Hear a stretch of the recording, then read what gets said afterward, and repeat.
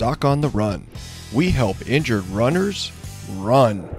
If you're a runner and you've ever been injured and you actually went to see a doctor, you probably got some sort of lecture about the necessity of rest. You may have even been scolded for your dedication to fitness. You need to slow down. You need to calm down. You have to sit still. Has a doctor ever said any of these things to you? Well, I've had doctors tell me these sorts of things, and frankly, they all sound like the sorts of things I tell my nine year old son when he's had too much sugar.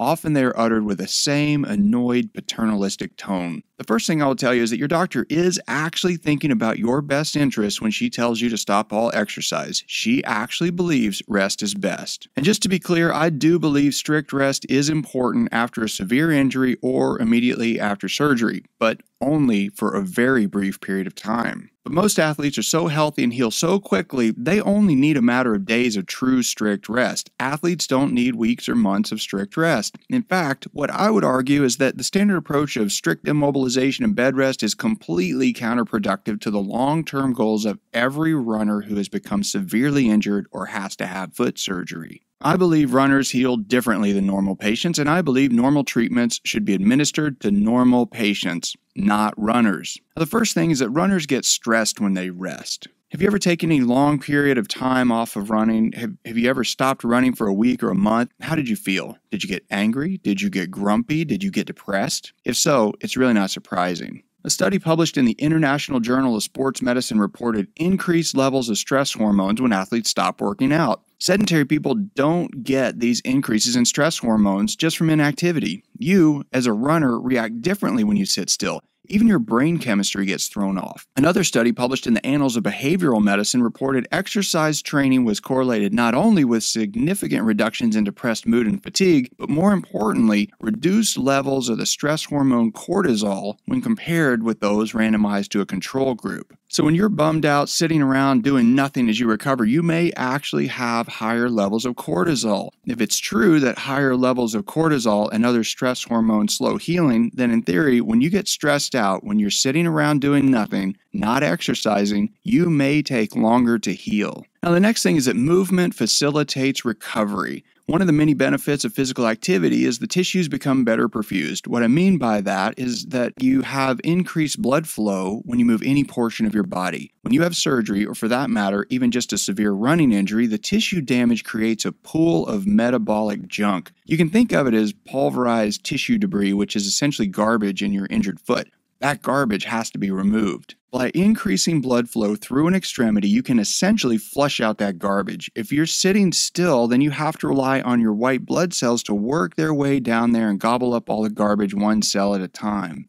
Now, the third thing is that micromotion can help fractures and bone heal faster. Motion can help healing bones heal faster. A study published in the medical journal Injury reported tibial fractures, which is your shin bone, they healed about four weeks faster when micromotion was allowed compared to those healing with no motion. Now, just think about that for a second. How much fitness would you lose with an entire extra month of sitting on the couch? How much weaker and grumpier would you be? If you have a fracture, you need to think about and ask your doctor about how micromotion can help your fracture heal faster. Micromotion doesn't just help bones heal either. Motion also helps tendons, ligaments, and torn joint capsules, which are all made up largely of collagen. We know that motion can help collagen remodel and become stronger. Immobilization is the enemy of healing athletes. A study published in the Journal of Bone and Joint Surgery reported that when ligaments are injured and immobilized, immobilization leads to a greater percentage of disorganized collagen fibrils, decreased structural properties of the healing collagen, decreased mechanical properties of the ligament substance, and even slower recovery of the resorbed insertion sites where the ligaments actually attach to bones. Of course, to you, the injured runner, that means the structures which have quote unquote healed while you are stuck in that cast are just plain weaker than when allowed to heal with a little motion.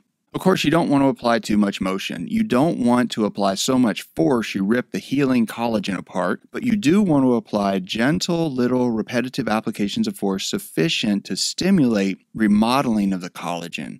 There's also a theory that the repetitive slight stretching of those tissues uh, can help to increase blood flow in the area. But we're talking about micromotion, very small motions, very small forces with very small stresses. But if applied correctly, micromotion should help accelerate the healing process following a running injury, particularly if the injury happens to involve a tendon, a bone, a ligament, or a joint capsule. If that's true, it seems like it would be a good idea to have a recovery plan that involves a period of applied micromotion at the appropriate healing interval. You want to start the micromotion right when it will help you the most. Doc on the Run. We help injured runners run.